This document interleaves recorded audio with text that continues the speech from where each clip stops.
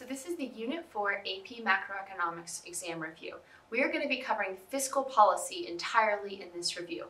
The basics of fiscal policy aren't bad. They go with the Keynesian School of Economics that looks at the government trying to fight a recession with expansionary fiscal policy and inflation with contractionary fiscal policy. So expansionary fiscal policy uses two tools that we're pretty familiar with because we hear about them on the news all the time, government spending and taxes.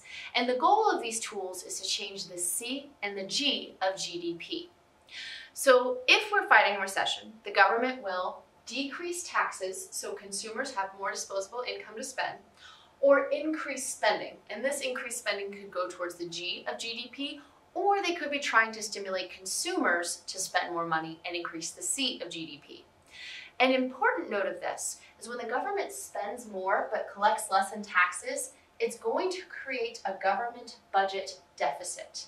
So always remember expansionary fiscal policy creates a government budget deficit because that'll come into play when we discuss crowding out later in the video.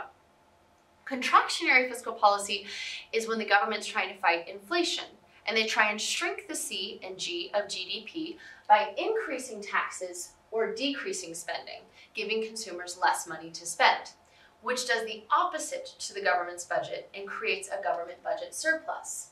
Because if the government is collecting more in tax revenue but spending less, they're going to have money left over.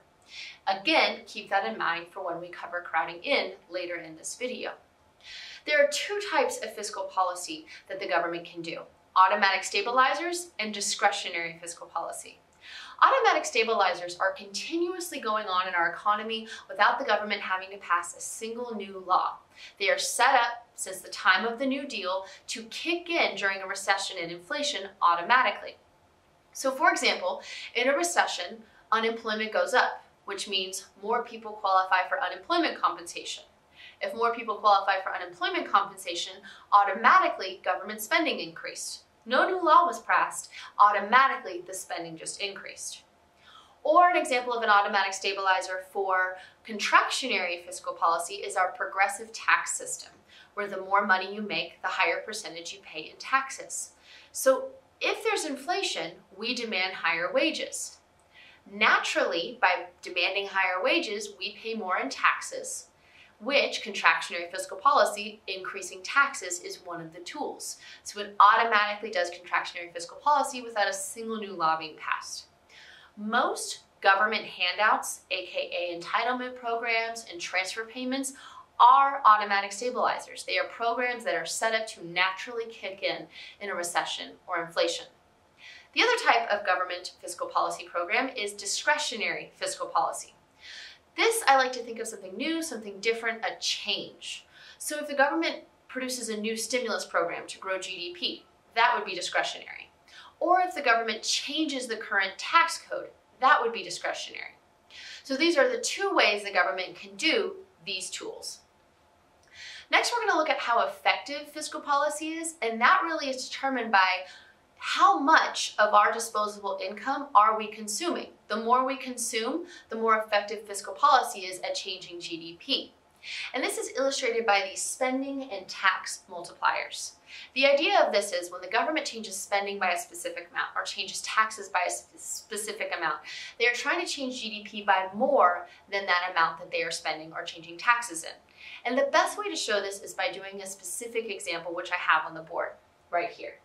And we notice on the formulas and on the example, they have the abbreviations of MPC and MPS. These stand for our marginal propensity to consume and our marginal propensity to save, which means of each additional dollar of our income, how much of that dollar do we consume, MPC, of each additional dollar of income, how much of that income do we save, MPS.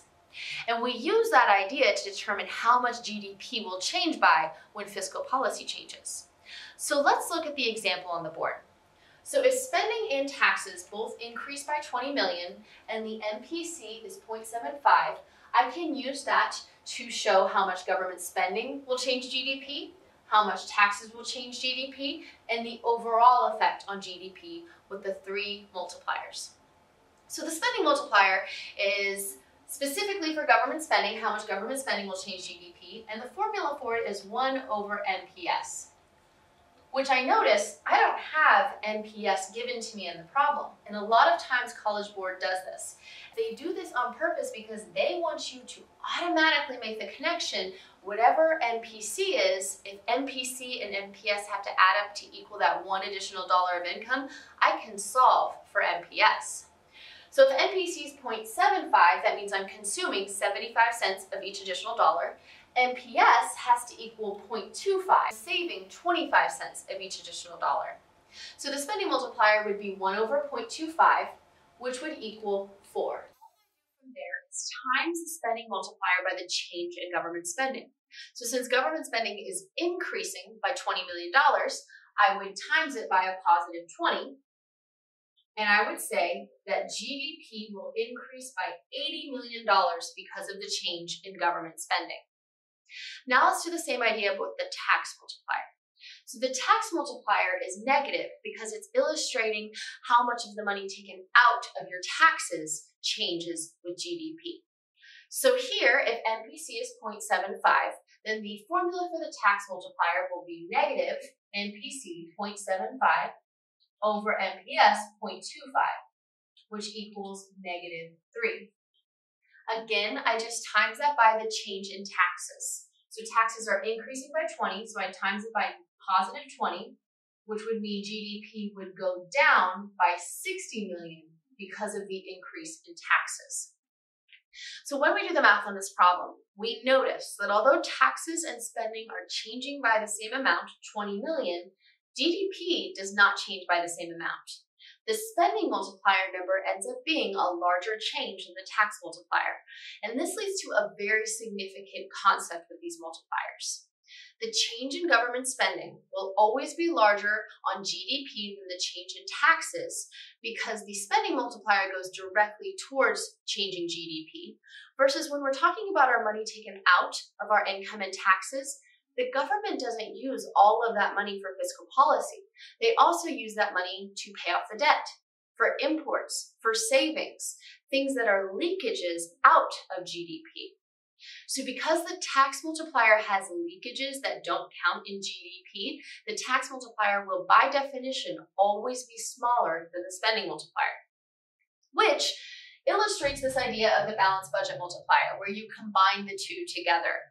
So if I wanted to look at my overall change in GDP, spending and taxes are changing by the same amount. So in this scenario, the government has a balanced budget. They are collecting the same amount in taxes than they are spending.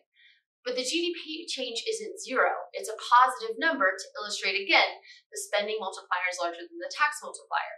So in this problem, overall, GDP increases by $20 million when we combine the two. So GDP goes up even though the government's running a balanced budget. So again, keep in mind the spending multiplier is always larger than the tax multiplier.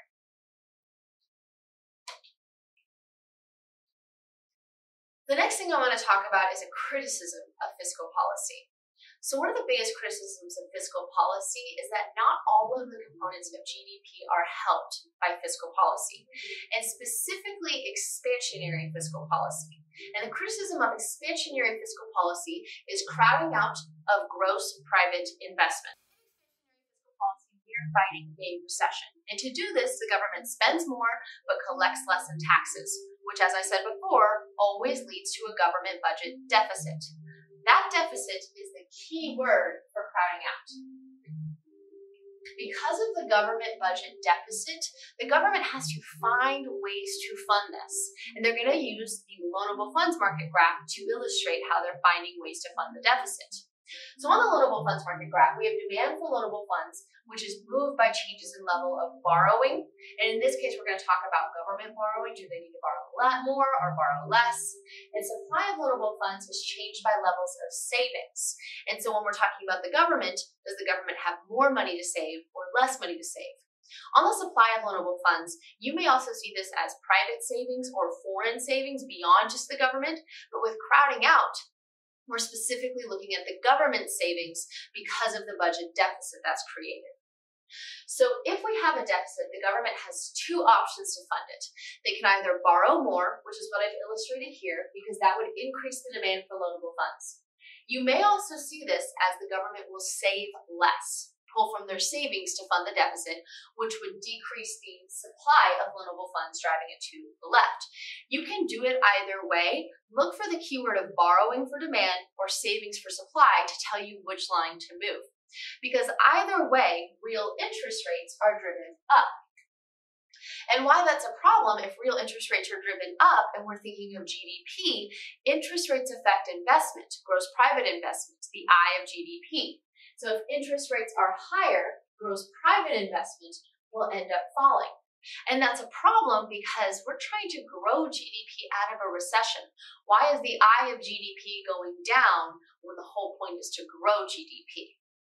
So there are two reasons why we still use expansionary fiscal policy even though this problem ends up occurring. The first is if the government increases the C and the G of GDP by a lot, because again, C is the largest component of GDP, then the decrease in the I by a little, GDP still ends up going up over time. The second reason is if the Federal Reserve uses expansionary monetary policy at the same time, which increases the money supply and drives down nominal interest rates, then the two interest rates will end up canceling each other out and crowding out won't be as big of a problem. So the government needs the Fed to do expansionary monetary policy at the same time for crowding out not to be an issue. Classical economists really use this one as a criticism of the government though, because yes, if the C and G go up by more than the I goes down, GDP goes up in the short run, but keep in mind, gross private investment is a key thing for long run economic growth. So classical economists say by doing this, the government is hurting long run economic growth. But Keynesians care more about the short run and say the long run will fix itself. The opposite of this is crowding in. So now it's a criticism of contractionary fiscal policy, or when the government's trying to fight inflation by raising taxes and decreasing spending, the budget surplus that is created segues into the loanable funds market graph. So now, because the government has a budget surplus, they have two options they can do with that extra money. They now don't have to borrow as much, so demand for loanable funds will fall, which is what I have illustrated here or the government now has more money to save. So you may also see this as the supply of loanable funds increases if it talks about savings. But either way, real interest rates are driven down, which now ends up increasing gross private investment, the I of GDP, which is a problem because this is inflationary. We don't want growth in the I of GDP when we're trying to shrink the economy back down from inflation. Same two reasons the government still does it. If the C and the G go down by a lot and the I goes up by a little, overall GDP still goes down in the short run. And if the Federal Reserve uses contractionary monetary policy, which decreases the money supply and drives interest rates out, the two can end up canceling each other out and canceling out the crowding in effect. The thing I want to talk about is the Phillips curve. So the Phillips curve is very, very similar to the aggregate model. It just takes out two of the most important topics discussed in the aggregate model. In the aggregate model, we have price level on the y, which inflation and price level go hand in hand together, which is the y on the Phillips curve. On the x, in the aggregate model, we have GDP, but we know whatever happens to GDP, unemployment does the opposite, and now we've taken that unemployment and put it on the x-axis. And then we have the long run and short run Phillips curve. The short run Phillips curve is going to be used to describe aggregate demand and short run aggregate supply changes. And the long run Phillips curve is used for two reasons. Just like in the aggregate model, we use the long run aggregate supply line to show recession or inflation in an economy. We're going to use the long run Phillips curve to show the same thing. So on the long run Phillips curve, if I wanted to start an economy in a recession, I would have a point down along the line to the right of the long run Phillips curve closer to unemployment. So this is how I would start my economy in a recession. Or if I wanted to use the Phillips curve to start in inflation, I would have a point up along the line to the left of the long run Phillips curve closer to the inflation. And so I can show, just like on the aggregate model, a recession and inflation. We use the long run Phillips curve for one other thing, because unlike the long run aggregate supply line, we actually have something that does shift the long run Phillips curve. It's a classical idea that says when there's changes in unemployment compensation, it affects the natural rate of unemployment. So typically the natural rate of unemployment, that unemployment when there's no cyclical, when you're at full employment is around 4 to 6%. So we'll say 4. So this classical idea says that if the government increases the amount of unemployment compensation, people on unemployment will have less incentive to get out there and find a job. So that on our next peak of the business cycle, we will have a larger percent of people still on unemployment. So that natural rate of unemployment will increase from like 4% to 6%, which would change the long run Phillips curve by shifting it to the right. So the only thing that moves along on Phillips curve is changes in unemployment compensation, and they have a direct relationship. An increase in unemployment compensation increases the long run Phillips curve. Or the opposite would be true as well. If the government were to decrease the amount of unemployment compensation, two things would happen. Either people would get off unemployment and find a job, and then they would no longer count as unemployed, or they would stop qualifying for unemployment and become discouraged workers. But discouraged workers also do not count in the labor force, so either way, the long run equilibrium, the natural rate of unemployment will fall, shifting the Phillips curve to the left. So the other thing we do with the Phillips curve is show how changes in aggregate demand and short run aggregate supply affect the Phillips curve. Originally, just aggregate demand affected the Phillips curve because we didn't know about short run aggregate supply shifts until stagflation occurred in the 1970s. So the aggregate demand shifts are what's known as the traditional Phillips curve because of that. So originally, when aggregate demand increased, we assumed there was always an inverse relationship between inflation and unemployment, and this illustrates this. Because when aggregate demand increases, price levels go up, meaning inflation goes up. GDP goes up, which means unemployment goes down. So I can show this inverse relationship between inflation and unemployment by moving up along the short run Phillips curve. So aggregate demand moves along the short run Phillips curve, which this also shows all expansionary fiscal and monetary policy, which the same can be said for an aggregate demand decrease. If aggregate demand decreases, moves to the left, then price levels now go down, meaning inflation goes down. GDP goes down, which means unemployment goes up. So it's still showing that inverse relationship between inflation and unemployment, but it's going to be showing it by moving down along the short run Phillips curve. So this is how I would illustrate all contractionary fiscal and monetary policy by moving along the short run Phillips curve. So this was the Phillips curve until the late 70s when we had stagflation. And they had to modify the Phillips curve to include now short run aggregate supply shifts. So when stagflation occurred, the business cycle was disproved because now all of a sudden we had inflation and unemployment at the same time, which is illustrated by a decrease in the short run aggregate supply. So when OPEC cut off our oil, our resource cost increased, which decreased short-run aggregate supply, which drove price levels up, meaning there was inflation, which drove GDP down and unemployment up. So now all of a sudden we had high inflation and unemployment at the same time, which they then dubbed it stagflation. So how I would show this on the Phillips curve is by actually shifting the entire short-run Phillips curve to the right which is a little counterintuitive. Every other graph in economics, an increase in a graph was a good thing. But on this graph, if the graph shifts to the right, that shows the worst thing an economy can have, stagflation, where the misery index is very high. And also a little counterintuitive, a decrease in short-run aggregate supply led to an increase in the short-run Phillips curve. So the rule is a shift in the short-run aggregate supply shifts the entire short-run Phillips curve in the opposite direction. The same is true with a positive supply shock. So if short-run aggregate supply were to increase, move to the right, price levels would be driven down, GDP would be driven up, and unemployment would be driven down. So now I want to show a decrease in both inflation and unemployment on the Phillips curve, which I would do by shifting the entire curve to the left. So again, a shift in the short run aggregate supply shifts the entire short run Phillips curve in the opposite direction. So a decrease on the short run Phillips curve is actually a good thing. It shows what could lead to long-run economic growth. And that is the end of the fiscal policy macroeconomics review.